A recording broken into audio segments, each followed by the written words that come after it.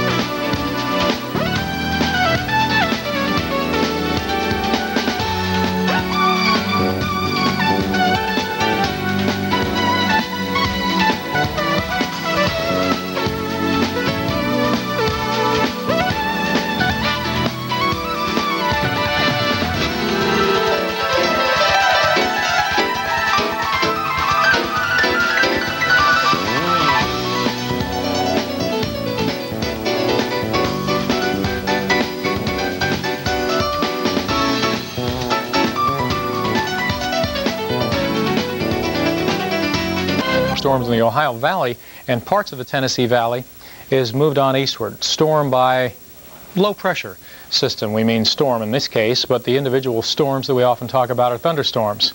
And uh, this front, or the vestige of it, sort of loops up into the northern high plains and Black Hills, and Bob talks about that more in a minute.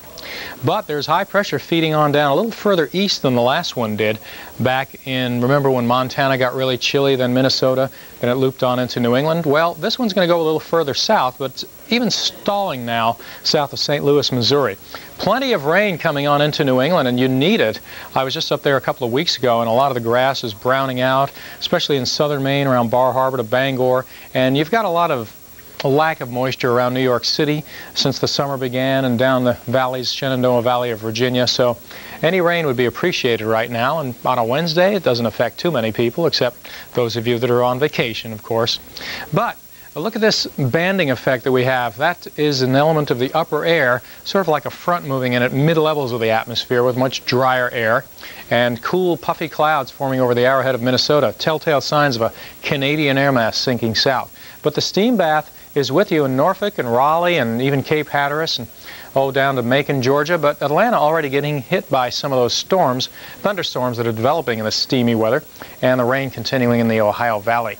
A close-up shows the rapid advance of the clouds connected with thunderstorms, New York City, Long Island, down to Philadelphia and even Baltimore and Washington.